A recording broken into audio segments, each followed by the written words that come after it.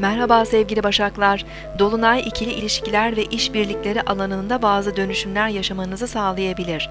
Evlilik ve iş ortaklığı kararı alabilir, gerekli adımları atabilirsiniz. Süre gelen ilişkilerde dönüşümler yaşanabilir. Eş veya partnerinizin yaşamındaki bazı gelişmeler sizi etkileyebilir.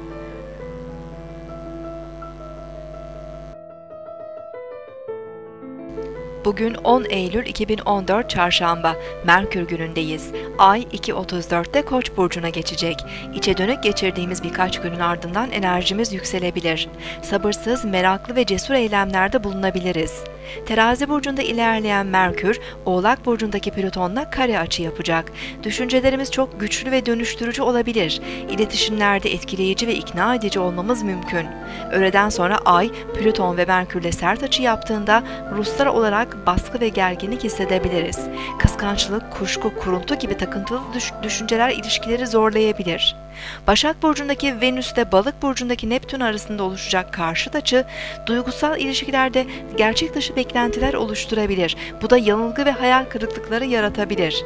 Hayaller ve fanteziler güçleneceği için yaratıcılığımızı sanatsal çalışmalara yönlendirebiliriz.